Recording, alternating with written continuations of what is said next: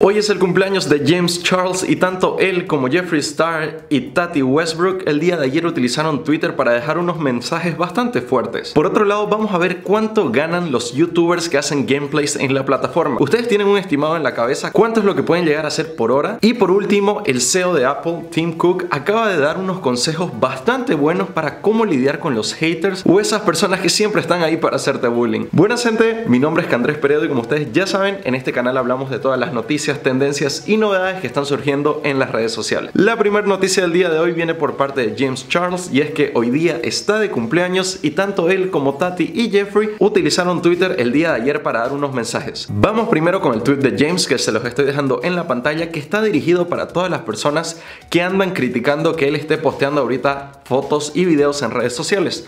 Como ustedes saben, él posteó esta fotografía junto a Kylie Jenner y estuvo el día de antes de ayer en el lanzamiento de la nueva línea de productos de Kylie. Entonces muchas personas comenzaron a criticar que James esté actualmente posteando en las redes sociales cuando supuestamente iba a tomar un descanso, pero esto es lo que él dijo. Dije que iba a dejar de filmar por un momento y que iba a aparecer espontáneamente en mis redes sociales. El punto es que me quiero enfocar en vivir en vez de forzar contenido. Curar para mí significa en hacer cosas que me hacen feliz, así como es jugar con el maquillaje y ser social, en, en lugar de quedarme en mi cama todo el día. A lo que James Charles contesta este mismo tweet diciendo, las redes sociales para mí son parte de mi vida y me gusta mantener informado a todos ustedes y saber qué es lo que está pasando con todos ustedes, así como también yo creo que ustedes quieren saber eso de mí. Postear de vez en cuando una que otra Insta Story de mí sonriendo no significa que estoy mejor o significa que mi tiempo afuera solo fue por simpatía a la situación. Lo que significa es que estoy tratando de seguir adelante con mi vida y formar un mejor yo mismo. Ese es el mensaje que le dio James Charles a todas las personas que andan criticando el hecho de que él ahorita esté posteando en redes sociales.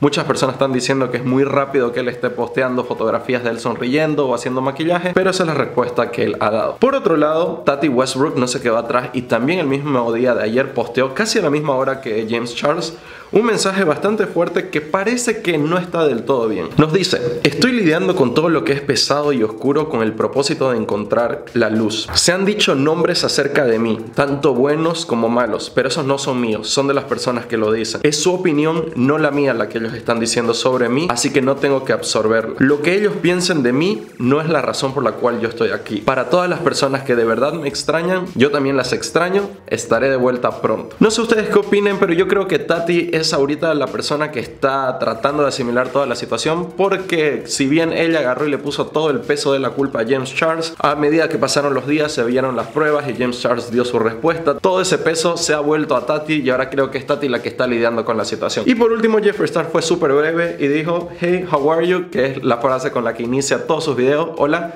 ¿cómo están? Los extraño demasiado y un emoji de estrella. Yo creo que tanto Jeffrey como James van a ser los primeros en subir un video. Si bien Tati no se olviden que nos dijo que ya tenía videos pregrabados que iba a postearlos en sus redes sociales, o sea, en su canal de YouTube, quizás no sea buen momento que ella los esté posteando ahorita porque los suscriptores siguen bajando y al ver que hay actividad en ese canal la gente va a comenzar a desuscribirse. Moviendo con otro punto interesante, quería preguntarles a ustedes cuánto creen que ganan los gamers o youtubers que hacen gameplay en la plataforma por hora. Creadores de contenido como Ser Ninja, uno de los más populares, puede llegar a ser hasta 50 mil dólares por hora para jugar un juego que acaba de salir. Empresas como Electronic Arts, que ha hecho videojuegos como Anthem, Activision Blizzard, más conocidos por World of Warcraft o Call of Duty, o Ubisoft, los que han hecho Assassin's Creed, pueden llegar a pagar hasta 50 mil dólares para que los creadores de contenido jueguen los nuevos juegos que ellos van a sacar para así tener más audiencia o que jóvenes quieran jugar estos videojuegos. Varias fuentes han confirmado que llegan a pagar hasta máximo un dólar por minuto por persona que está viendo el video. ¿Se imaginan cuánto pueden llegar a hacer con eso? Muchos youtubers de alta gama dentro de la industria del gaming han hecho hasta 70 mil dólares por hora por jugar un videojuego que recién acaba de salir. Si bien esto es un monto elevado, no nos olvidemos que si las personas quieren jugar este juego van a tener que comprarlo